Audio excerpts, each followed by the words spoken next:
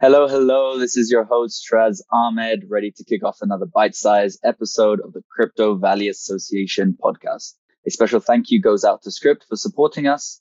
Now let's discover together the growing trends of this fast moving space and try to shed some light on the mysteries it contains. Today we are joined by Makoto Takemiya, CEO of Soramitsu, a global technology company delivering blockchain based solutions for enterprises, universities, and governments. So let's dive straight into the hidden world of technology development. Makoto, great to have you here. How are you doing? I'm doing good. It's great to be here. Awesome. Well, uh, let's dive uh, straight in then, uh, shall we? Maybe you can share with us your first blockchain related experience. Oh, that was quite a while ago. So I first got into blockchain in 2013 in January. It's on Mount Gox in uh, when I lived in Japan and uh, did some trading. I even wrote a bot uh, that traded Bitcoin, but it actually wasn't wasn't very successful, and I lost um, a lot of money. And then, of course, Gox kind of got into trouble too. That was a, a, weird experience, but but it, it taught me taught me a lot uh, mm-hmm. about you know self custody of assets of you know your own personal custody and, and being able to take responsibility and not relying on uh, intermediaries. And sometimes it hurts uh, but it, it you know that's how you learn and improve. So from that experience uh, i worked on other blockchain systems. Uh, i contributed to some open source project projects. And uh, then in 2016 i was able to create my company Soramitsu. So uh, that was we wanted to focus on using blockchain for enterprise solutions. So actually being able to build you know different platforms and apps that uh, enterprises can use that would increase efficiency because yeah there's a lot of inefficiency in, in payments and identity management and tracking mm-hmm. different things and we really wanted to make all this uh, simple and, and, kind of unified uh, together part of it's because i also in 2000 in the early 2000s when i lived in the us i worked uh, in a company building logistics software um, mm-hmm. using ai and yeah it was really interesting how just a small like 1% or 2% increase can actually save quite a lot of uh, money mm-hmm. and reduce things like fuel usage and things like that so that kind of optimization uh, just uh, got really int- it was really interesting to me so optimizing things like payments and digital asset management and uh, you know access to capital. These are some of my uh, personal passions. Awesome. Well yeah success is in the, the small details right? So uh, it's great to great to hear. And maybe you can tell us a little bit more about uh, Soramitsu and, and, and how things have been going on that front. So Soramitsu uh, is a I'd like to describe it as a boutique uh, blockchain fintech company, and uh, so we're we're still pretty small. We're still under 100 people, but we're getting mm-hmm closer um, to that. We're international group now, based in Switzerland, so that's uh, that's why we're talking today. But we originally were founded in in Japan, as, as I'm also Japanese national, and yeah, we I, we tried to build the full stack of applications. So what I mean is we built uh, the core blockchain platform that we use, and then we also built uh, apps on top of it. So we we're a contributor to Hyperledger project of a blockchain platform called Hyperledger Iroha, which is open source platform. And we still contribute very heavily to it. And we use uh, Iroha in, in many of our apps, not, you know, in all the apps, we, we use the right tool for the right job. But for many things that we do, like uh, like uh, digital payment systems, we use Hyperledger Iroha for this. And um, it allows us to really fine tune the user experience and uh, be able to to build in safeguards. So, for example, if somebody loses uh, their device, you know, they don't lose all their digital assets, mm-hmm. things like that. So, I'm kind of like a control. I'm very controlling, I think, in in that I try to have full control over the full stack rather than having to rely on other people's um, design decisions, which maybe is uh, a bit unusual for some of the companies in this space, but I think it mm-hmm. does uh, some advantage. Yeah, I, I, understand needing to be careful after going through the the Mt. Uh, hack. But uh, maybe you can tell us uh, a little bit more about why you decided to move from Japan to Switzerland. What what attracted you towards Switzerland? Well, Switzerland does have a good startup environment, especially regulatory environment for digital assets, and that was the main consideration over Japan. Though Japan, of course, is uh, you know a very nice place. Um, I, I, I like it as well, and we still have a company there in our group. But uh, yeah, the headquarters is now in Zug, and Zug is nice because there's a lot of people that understand blockchain there in the in the local government, and that makes it kind of easier to talk to people and um, and uh, you know do new try new things. Uh, so uh, when we wanted to issue a, a, digital token, we decided to go to Switzerland uh, for that. Okay, great to hear. I'm guessing it wasn't uh, for the better sushi they have in uh, Zug that you moved was Sora Sushi um, in Zurich. great to great to hear. And and so more about Soramitsu here. And so how how, how is it to work with both the private and the public sector on various uh, blockchain projects as they operate in such different ways? How, how do you how do you manage those operations? So Soramitsu, I think, is yeah very unique in this space in that we uh, we do work with government agencies. So we work mm-hmm. with the Central Bank of Cambodia, and we built actually the world's first retail like blockchain based payment system uh, that exists in the world today, wow. Project Bakong. And that uh, you know, that launched with real money in 2019, uh, so mm-hmm. it's quite quite early, and then officially launched uh, this year uh, from the rollout to, to, the whole country. So that, that's been a big project that we've done, and maybe I can talk more about it later. But we've also done quite a lot of other projects. We did a lot of uh, consulting and, and, prototypes, which I think a lot of blockchain companies do. But we've also you know worked in the cryptocurrency space as well. So we work with uh, Web3 Foundation, which is also based in Switzerland, and um, we built a C++ uh, version of Polkadot Okay. And we've also worked with uh, Protocol Labs on building a C++ version of Filecoin, and you know things like a C++ uh, libp2p library, and uh, now we're working on the Sora. Uh, well, Sora is our kind of a crypto anarchic uh, project that we contribute to, and that's a kind of like a decentralized central bank. And I'm happy to, okay. to talk about that more. But on top of the Sora network, we're building a, a DEX for. Uh, we got a grant to build a DEX for uh, Polkadot ecosystem wow. called Polkaswap, and uh, and then we've also been building uh, a, a, digital currency wallet called uh, Fearless Wallet for the um, Kusama and Polkadot ecosystems. So we've done wow. quite a lot of you know, kind of eclectic uh, things, but uh, they do share some common threads. We've done a lot of work uh, with payment systems and with as part of the payment systems for uh, corporations and for uh, governments, we we do manage uh, digital identity as well. Um, one one project I forgot to mention that's also kind of interesting is we in Japan uh, we worked on building a digital payment system for University of Aizu, which is in mm-hmm. Fukushima Prefecture. It's called Byakko, and uh, that's a it's it's kind of a replacement for just prepaid cards that. Mm-hmm students used at the cafeteria and uh, campus store. But we just made a nice digital app that uses it and uh, to make it really easy to to use uh, like a payments system uh, just on the university campus and so this mm-hmm. is kind of like a fun uh, project that we've done but yeah working with governments and large you know banks and, and institutions is uh, is quite you know challenging thing and uh, it takes a lot of work and effort but uh, I would say that's also equally challenging to work with you know, public uh, cryptocurrencies. But the challenges are in different ways. Um, but mm-hmm both are kind of in many ways safety critical domains because if you lose you know if there's some kind of a flaw in the software people can lose money and that's not you know it's, it's a pretty serious thing. And uh, i would say in, in, in, many ways the open blockchain space is even stricter because uh, you know if a if a central bank uh, system if anything happened you know uh, in theory there's ways that you can uh, solve that. But in a public blockchain space uh, if there's some kind of bug in the software that's really you know unsolvable mm-hmm. without like a hard fork like a Ethereum uh, once upon a time. But yeah, so it's it's really yeah the, the dichotomy between the two worlds is very interesting, and I think mm-hmm. gives us a very unique perspective as well. Um, it's kind of like learning a, a different language. So people who learn multiple languages have, a, mm-hmm. I think, more of a deeper perspective on on life uh, than if you yes. learn just a single language because uh, mm-hmm. you you have to kind of see the world in a different way and be able to comprehend it and, and it gives you a greater uh, sense of empathy i think uh, it's, okay. it's been a very interesting experience i can imagine it sounds like a lot of building and a lot of very interesting projects maybe one that you mentioned right at the beginning with the national bank of cambodia i mean does that mean that the acceptance toward this new technology is growing yeah, well, in some ways, right? So Cambodia is very strict about things like digital, like cryptocurrencies. Like they don't mm-hmm. allow cryptocurrencies in, in the country currently in the current regulatory regime, which is one of the strictest in, in the world. But on the other hand, uh, the central bank is using blockchain in their uh, payment system, which is quite quite interesting. Uh, yes. the economy. I think it shows a greater acceptance over embracing technology that is um, more robust and unstoppable. And I think that's a very good trend uh, to have.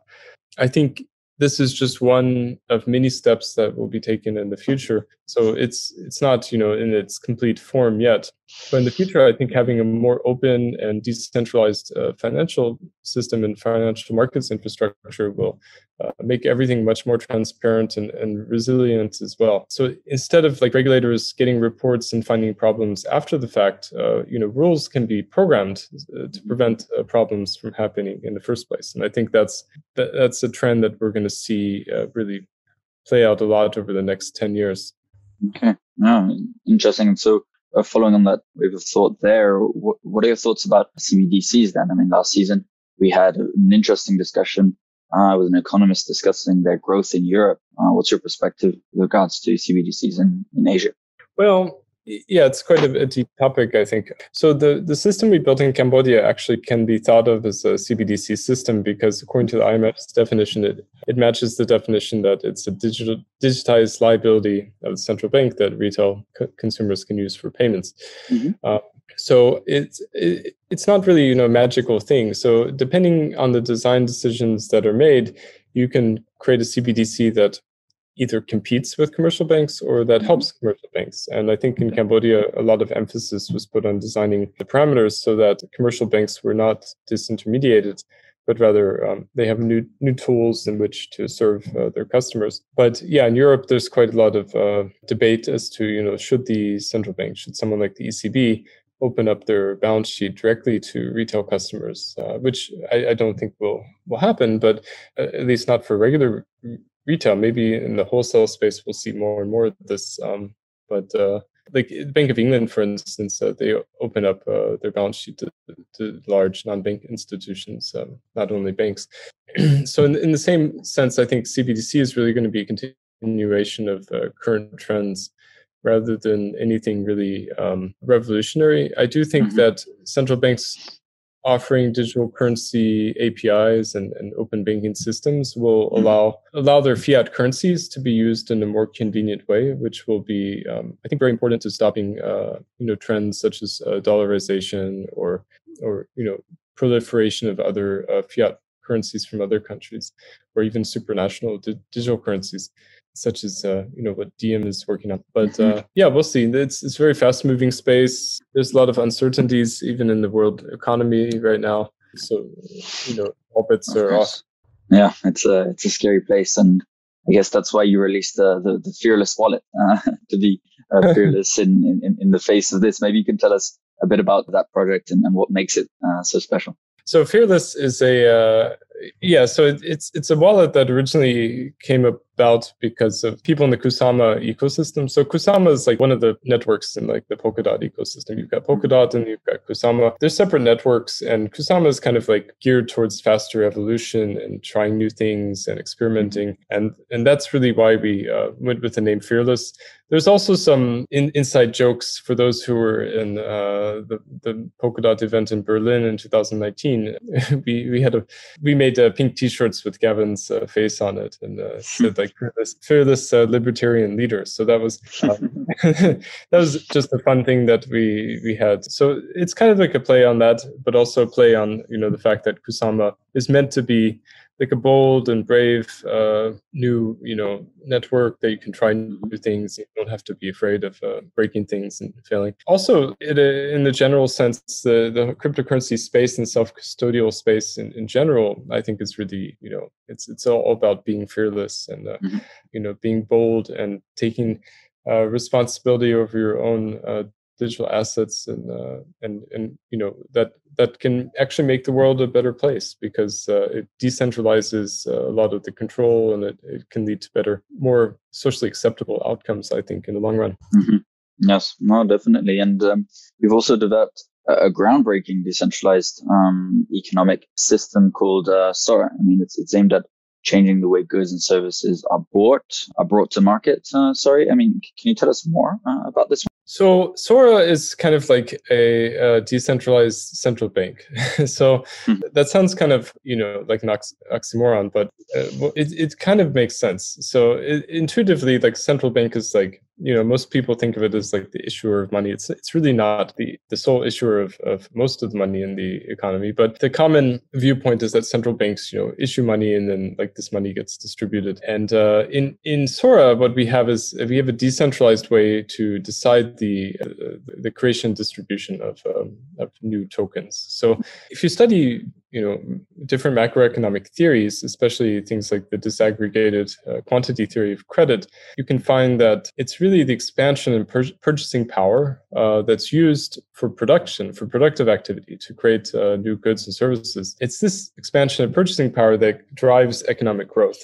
And it's you know it's been shown by the work of uh, Professor Richard Werner that uh, it's it's both necessary and sufficient to have uh, credit creation for production uh, in order to have economic growth. So you don't you don't have to play with things like interest rates or anything like that. So in the cryptocurrency space, you have Bitcoin, and Bitcoin uh, currently is inflationary. It won't always be, but uh, every new block, you know, some new Bitcoins are minted, and these are given to to miners. Mm-hmm. And um, this is not creating new purchasing power for production rather it's creating it for consumption and bitcoin you know goes up in value just because because more people are, are coming into the ecosystem it's not because there's new there's no productive output right? There's no new goods and services being created you know with these newly minted bitcoins. And uh, so what we want to do in sora is to really like create a way that new capital can be uh, created and allocated for productions so things like you know if you wanted to create uh, so you're in switzerland so if you wanted mm-hmm. especially the french part if you wanted to create like a new wine company and uh, mm-hmm. a vineyard buy some land you know uh, plant some grapes wait a few years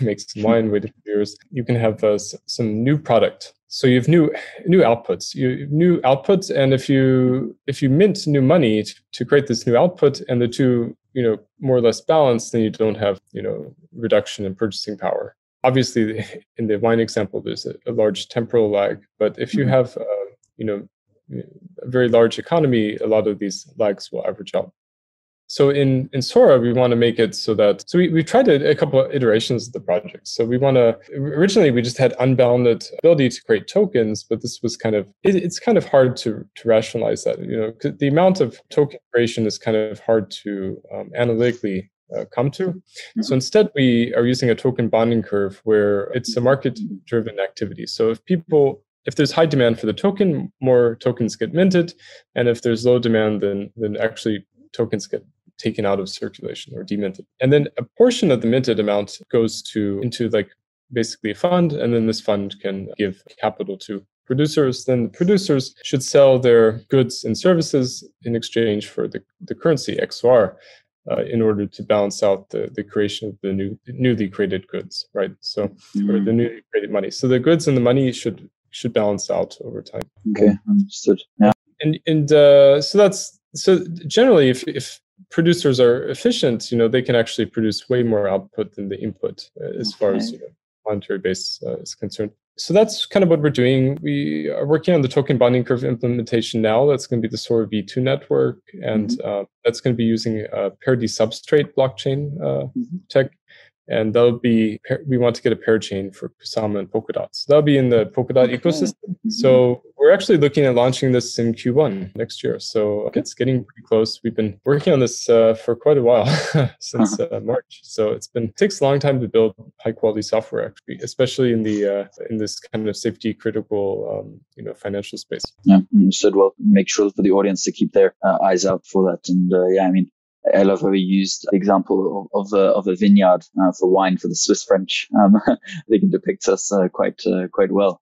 And so we, we spoke about many uh, many different projects that you're working with, helping develop and build. What's your what's your your vision for the future of this whole industry? Uh, it's a good question. So my uh, you know there's many paths there's many risks but my i wouldn't say my vision but my hope is that this technology can be used to really empower mankind and uh, you know give give producers who need capital the capital that they need to go and create new things because this is uh, what pushes humanity forward and i think that you know it's a big universe uh, and i think we need to expand more into it you know, beyond this mm-hmm. this tiny ball. Though it's a very nice place. Uh, I think that it's it's really important to um, you know to really push things forward as, as fast as they can go because uh, you know there are lots of risks and uh, a lot of people especially as we saw this year a lot, a lot of people are still i think overly enslaved uh, by by you know mm-hmm. whatever political system that they're in in japan you know we're really lucky that the government's not really overbearing and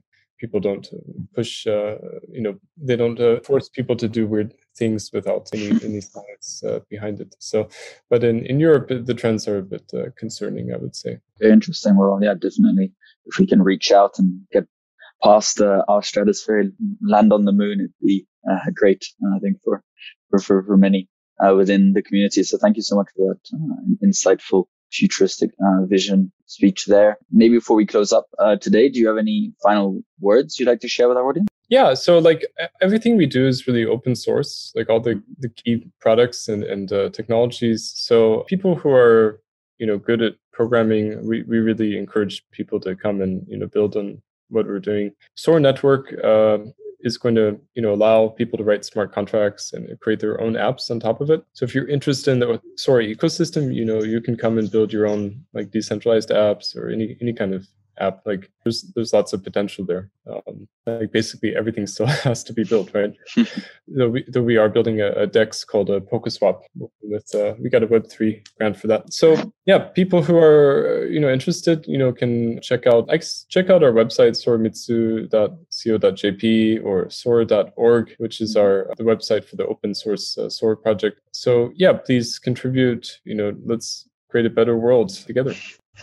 Awesome thank you so much. Still lots to build, but uh, very hopeful, yeah, that it will be done. So if you enjoyed uh, this conversation, feel free to check out more on our website, cryptovalley.swiss, where we host plenty of events, educational content, and even provide information on how you can join our growing community. So thanks again, uh, Makoto, for joining us. Yeah, thanks for having me. Awesome. So stay tuned, stay safe, and until next time from the Crypto Valley in Switzerland. Bye bye.